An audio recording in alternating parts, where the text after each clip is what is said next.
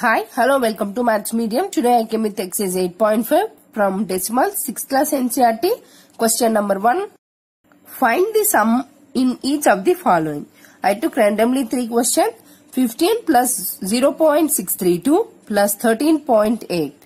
27.076 plus 0.55 plus 0.004. Here 0.75 plus 10.425 plus 2. These are the three questions.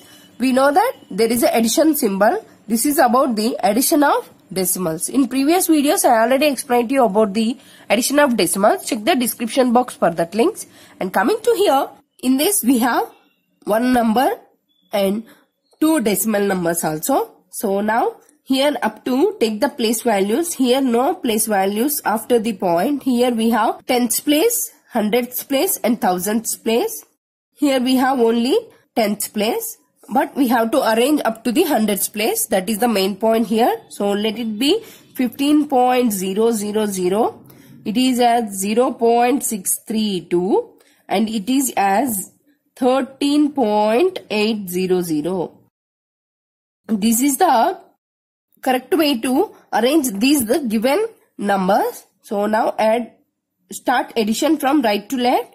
Take 2 here 3, 6 plus 8, 14. Here we have 1 and another carry goes to here. So 5 plus 1, 6. 6 plus 3, 9. This is the common point here. 1 plus 1 that is the 2. So this is the answer.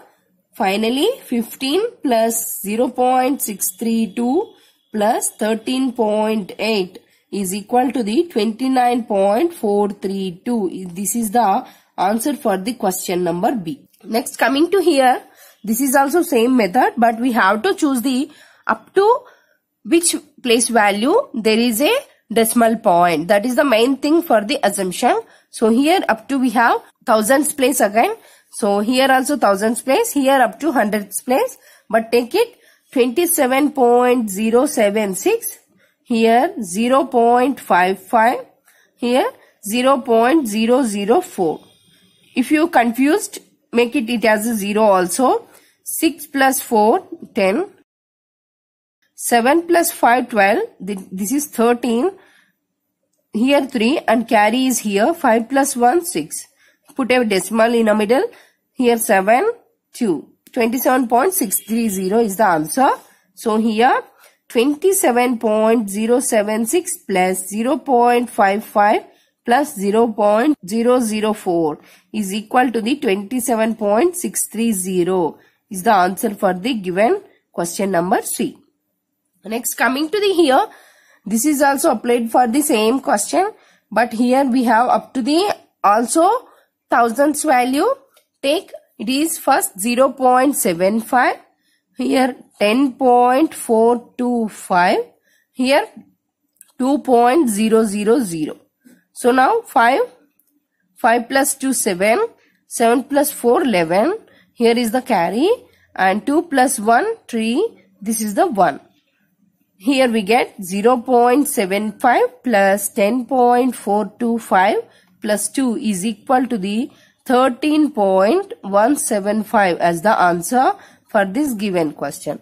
Here is the simple tip for the addition that is nothing but always start from the right to the left.